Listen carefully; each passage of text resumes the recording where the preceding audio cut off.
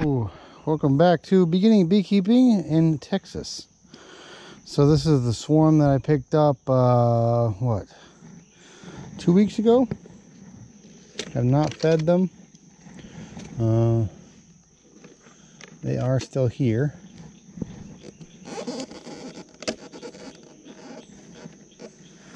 So what I like to do is keep well I'm still making sure the queen's gonna stay.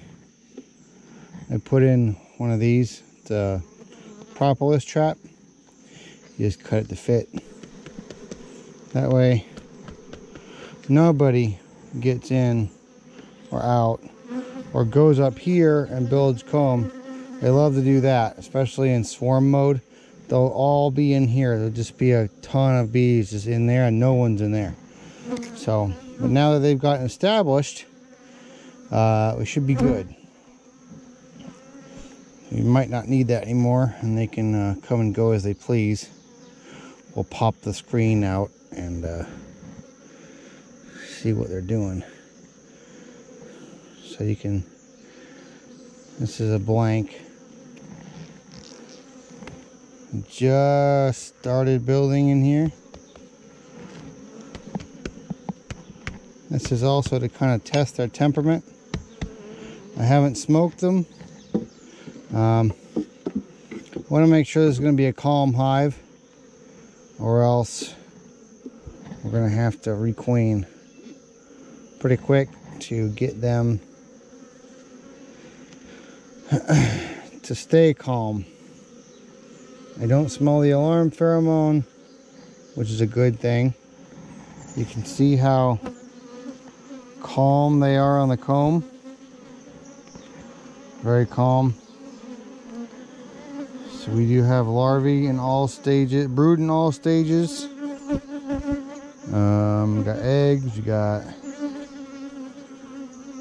larvae that just hatched.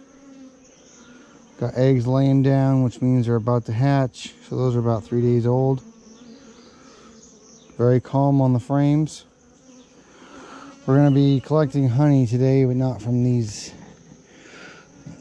ladies. I'm going to assume it's pretty much all ladies because when they swarm, they don't really take drones drones don't really have a purpose in the swarm. Some might tag along or find them or who knows, but generally you're going to get all workers in a swarm.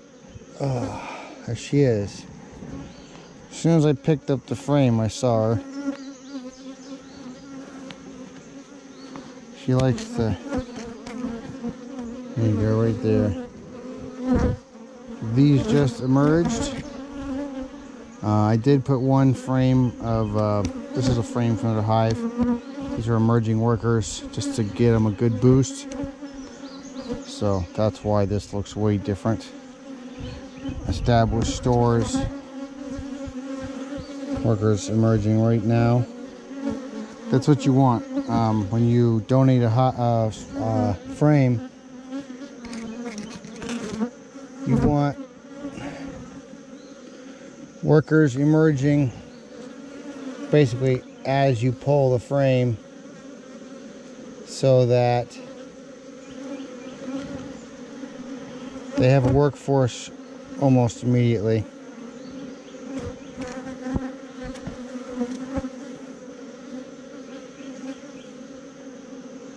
Starting to get a little more restless.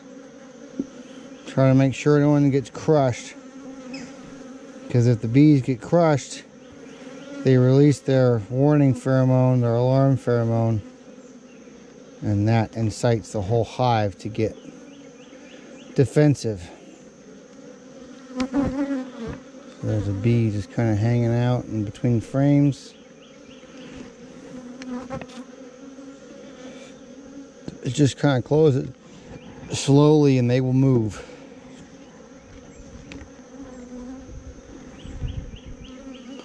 This back where it was. There's a bee underneath the frame. Okay. Move this back. And this frame they're already building on the outside and they're building um, basically just resource comb. Um, but this is also what I like about these Lyson nucs. You can have this uh, basically just a vent. But we're going to open this. And we're going to carefully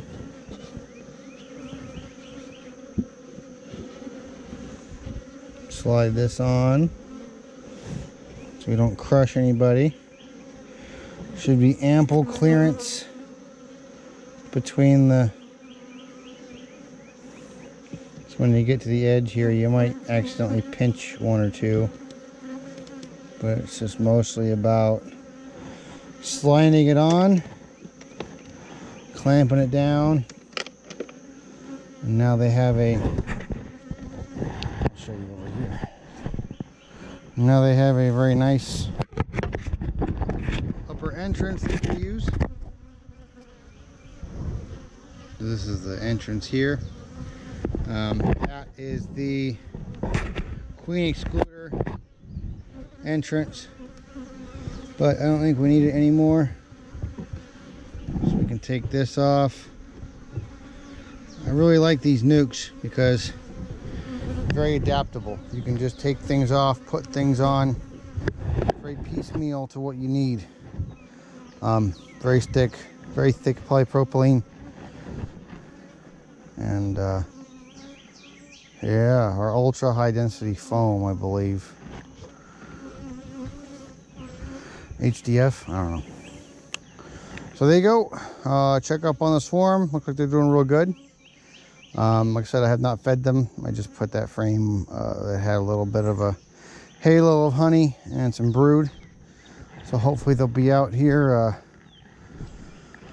uh, getting it done so we're gonna light the smoker. We're gonna go start doing some honey. Since we have a bunch of frames now that are a bunch of boxes this one this one that need uh, removed. Probably want to do two or three uh, all right.